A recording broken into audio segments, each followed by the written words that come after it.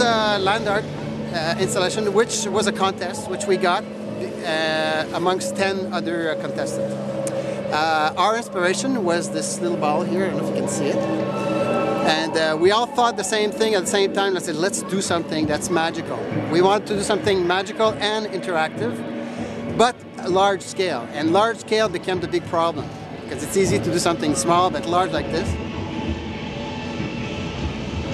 And uh, so we decided to uh, go into the, the spheres. Uh, there's 25 of these spheres here, ranging from 8 feet high to 33 feet high.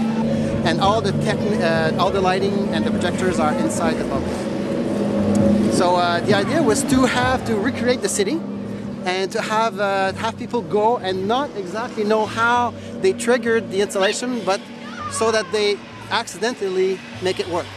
And uh, actually that, that makes it very ludic, very uh, like dreamlike.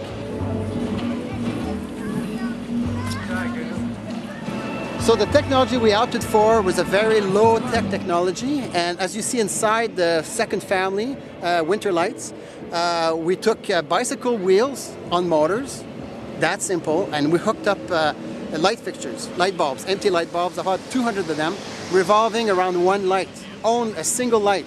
And that single light, because it's so precise, will throw the shadows all uh, surround the bubble. See?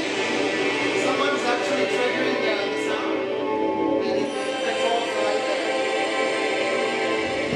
So there's fire detectors, and uh, they know basically where your hand is. See?